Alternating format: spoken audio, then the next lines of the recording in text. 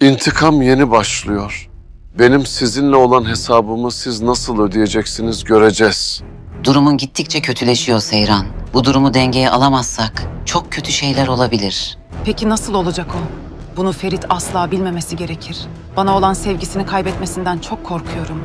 Hiçbir şey istediğim gibi gitmiyor. Kahretsin. Yalı Çapkını dizisinin son bölümünde Fazilet Korhan'ın ölümüyle ilgili İfakat'ın adının geçmesi izleyicilerin zihninde büyük soru işaretleri bıraktı.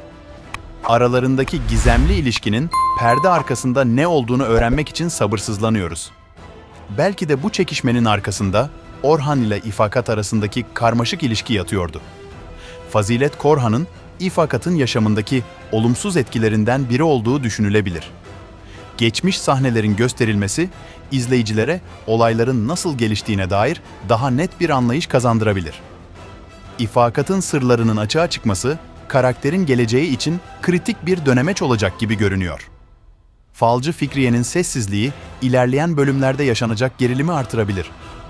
Özellikle Suna'nın bu gerçeği öğrenmesi ifakat için büyük bir tehdit oluşturabilir. Sezon finaline doğru daha fazla sır ve gizem ortaya çıkacak gibi görünüyor.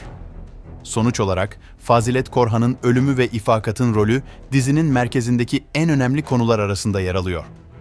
İfakatın karakteri karmaşık ilişkilerle dolu bir yapıya sahip, bu da dizinin derinlik kazanmasını sağlıyor.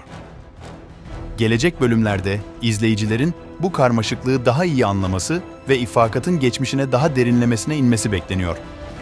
Siz de dizinin heyecan dolu macerasına katılmak için kanalımıza abone olmayı unutmayın.